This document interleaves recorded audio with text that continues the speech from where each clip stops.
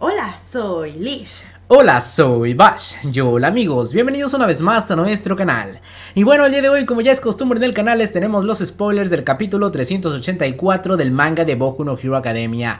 Y sí, en esta ocasión tenemos un capítulo realmente impresionante, ya que además de continuar con la batalla contra All for One, que no estaba nada fácil, también tenemos uno de los momentos más impactantes de Boku no Hero, ya que prácticamente se nos confirma que las películas, incluida esta, son canon. Así es, Bakugo es el décimo portador del One for All. Bueno, ya estaremos platicando y analizando todo esto, ya que no se confirma tal cual, pero sí se confirma, entonces ya lo platicaremos.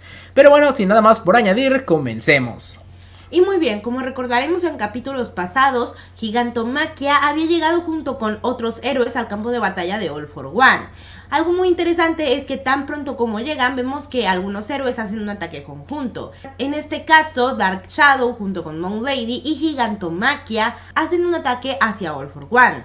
Lamentablemente esto no está sirviendo del todo, ya que claramente All for One es bastante poderoso y comienza a hablar bastante.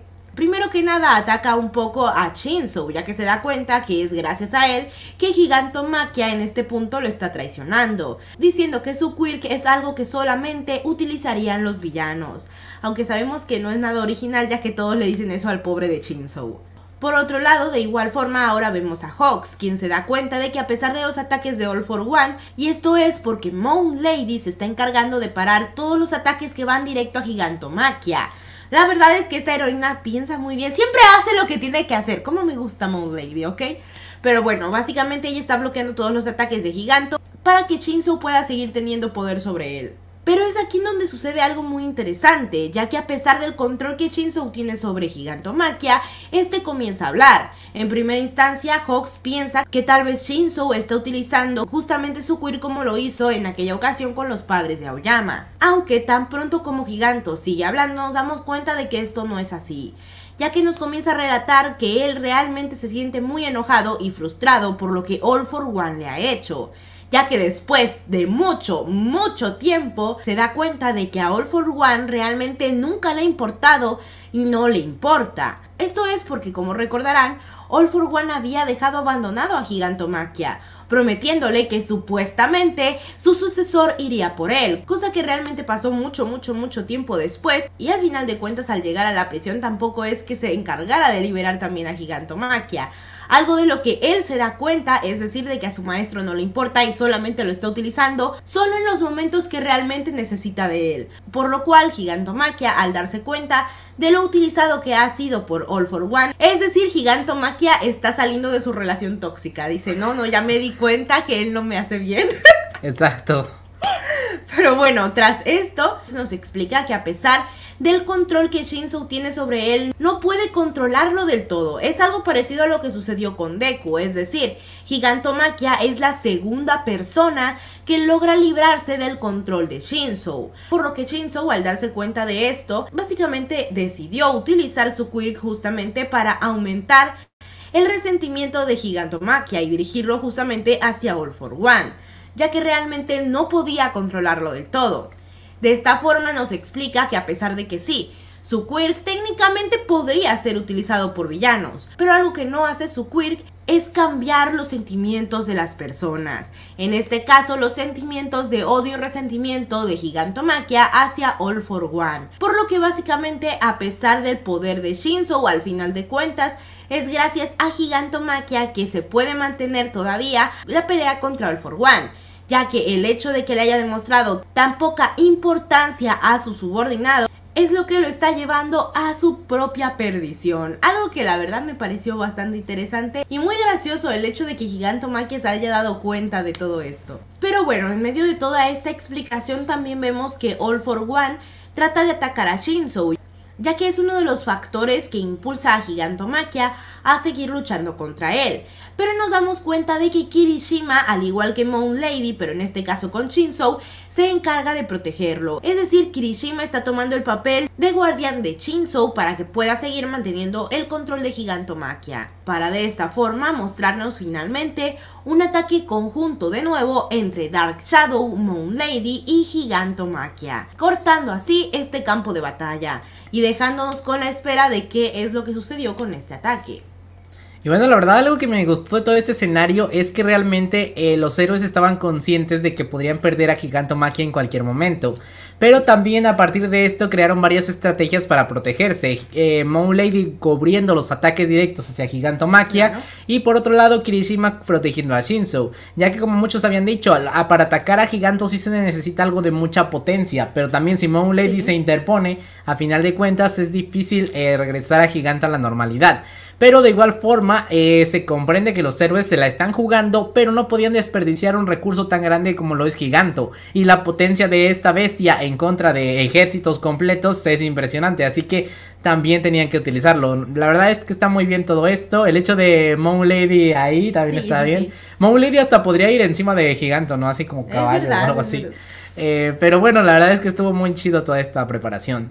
Y bueno, ahora pasamos a la segunda parte del episodio, que es básicamente eh, los reporteros reaccionando a todo esto. De primera instancia se nos presenta a un reportero que honestamente no lo recuerdo, pero dicen que estuvo en el Festival Deportivo, en Camino y en otros eventos, y que incluso entrevistó a Deku en alguna ocasión.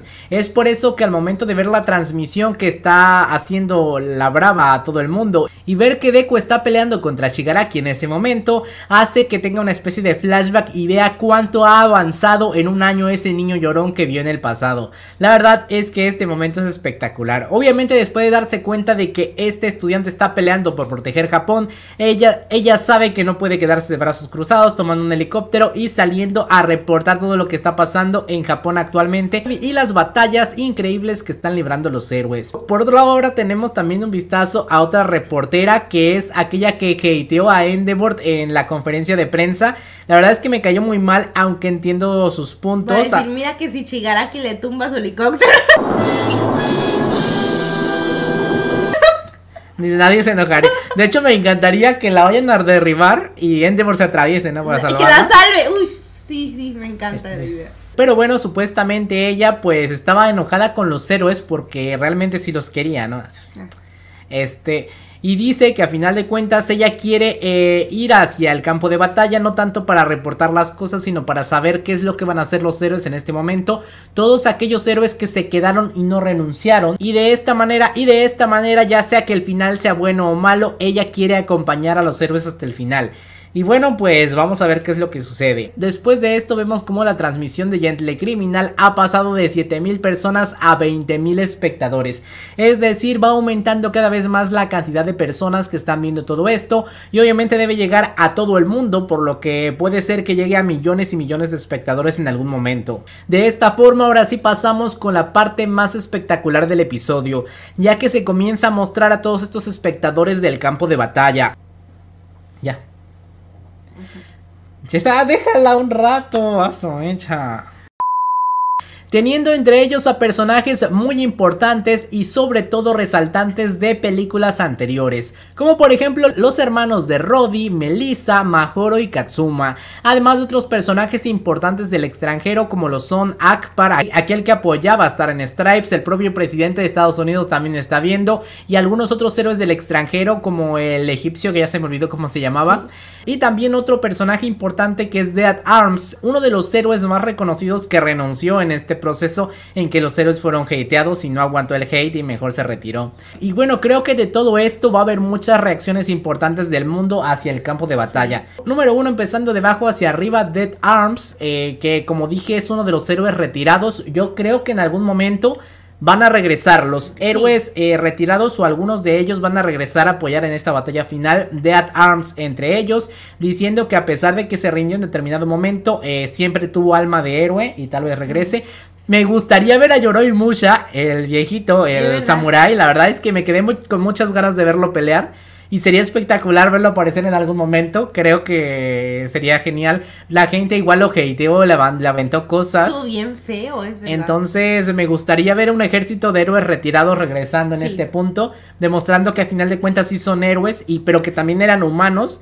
Y por el hate y la presión, pues no pudieron seguir adelante. soy tan pro, o sea. Exacto. Pero que siempre hay segundas oportunidades y tal vez ellos lleguen en algún momento, creo que eso va a ser un escenario importante. Sin duda. También los héroes del extranjero, una vez más, todavía no vienen, se ve, o sea, ellos están en sus Sí, sí, pedos, sí. en sus países, de hecho ya ni sé si lleguen porque creo que también otros países están en conflicto, ya se nos había dicho que los villanos de otros países se estaban levantando. Eh, Entonces, eh, tal vez no lleguen, honestamente ya no estoy seguro. Excepto Koichi, que creo que él sí o sí debería de llegar. Ya los demás no me importan, pero Koichi. Al menos volando puede llegar. sí. Claro. Eh, la verdad es que yo también quisiera. Y bueno, ahora sí vamos con lo más importante y lo que causó mucho hype dentro del fandom. La verdad es que cuando fui a revisar los spoilers, vi que estaban hablando de las películas y dije, oye, yo a leer capítulo del manga hoy, ¿no? Porque Sí, hablan de, de que la Two Heroes y no sé qué. Yo, de Bakugo, dije, eh, salió Bakugo, pero ¿por qué hablan del One for All con Bakugo y no sé qué? Pero bueno, finalmente tenemos la respuesta y al parecer todos estos personajes importantes de las películas pasadas han aparecido actualmente en Boku no Hero Academia reflejando la canonicidad de varias de ellas. De hecho, para empezar, la primera película a mi parecer es de, la- de las más fáciles de canonizar porque Sí. no interfiere tanto en la historia. De hecho, ya muchas cosas de ahí se hicieron realidad como el hecho de varios héroes que aparecieron en esa película son reales en el canon del manga de Boku no Hero Academia. Staran Stripes fue una niña que All Might salvó en su pasado y esto la motivó tiñéndose el cabello incluso a convertirse en heroína y pues la futura heroína número uno. Entonces esa también viene desde esa primera película. Y por otro lado Melissa, que ya habíamos visto que Deku utilizó el guante alguna vez, pero no sé por qué no dijeron que fue de Melissa si todo el mundo sabía que era de ella. Claro. Pero bueno, actualmente se nos confirma Melissa Canon. Y algo que me llama la atención es que el padre de Melissa tenía la intención de hacer regresar a All Might. Como recordaremos, el artefacto que creó a final de cuentas era para recuperar el poder de All sí. Might. Y no sé, me suena interesante que a final de cuentas este tipo haya seguido trabajando después de mucho y esa sea la clave para el regreso de All Might. Creo que sería una justificación muy buena que este haya creado algún artefacto. Ya dije que a lo mejor el maletín que siempre anda cargando All Might es como este último recurso. Sí, sí. Recordemos que All Might recibió un último paquete de Japón, siendo el guantelete de Deku, pero también puede ser que haya venido el otro paquete con el prototipo de lo que podría ser el despertar de All Might. No sé, es una de las teorías que tengo actualmente y que se apoyaría mucho en esa primera película. La segunda película creo que es la que más conflicto causa y la que está haciendo explotar el mundo. ¿Por qué? Porque tenemos esto. Bakugo con One for All que muchos decían, no, no es canon, eso nunca pasó. Imposible, ¿no? Sí. Pero ya habíamos tenido la aparición de Nine en el manga oficial. Claro. Eso ya, ya lo habíamos tenido. Ahora los niños de la película también ya han aparecido. Eh, y también tuvimos algún acercamiento de Bakugo con el- la esencia de All Might del One for All. Desde ese momento ya se nos estaba dando a entender algo. Yo creo que podríamos tener el regreso de este Bakugo One for Sí. All. Porque muchos dicen, sí, va a regresar Bakugo como refuerzo, pero ¿para qué lo quieres con su poder anterior? Necesita el power up del One Sin for All alguna. para demostrar algo. Entonces, no sé, llámeme loco, pero creo que eh, es muy probable que llegue a aparecer. Creo que ahora con mucha más fuerza, Bakugo One for All podría ser canon.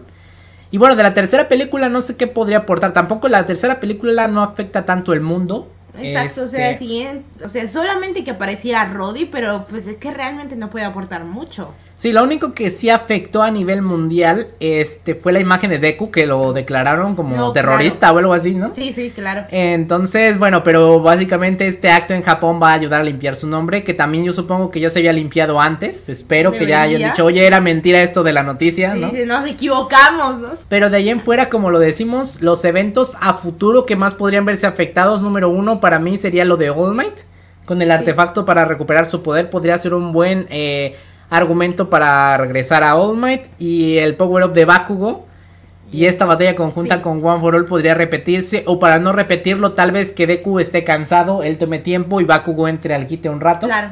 Tal vez no lo recupere por siempre, pero por un momento eh, pueda recuperar las brasas o algo así. De hecho, hemos visto que al parecer como que Bakugo está muy unido a esa esencia que quedó de All Might, así que a lo mejor y eso es lo que obtiene al final de cuentas.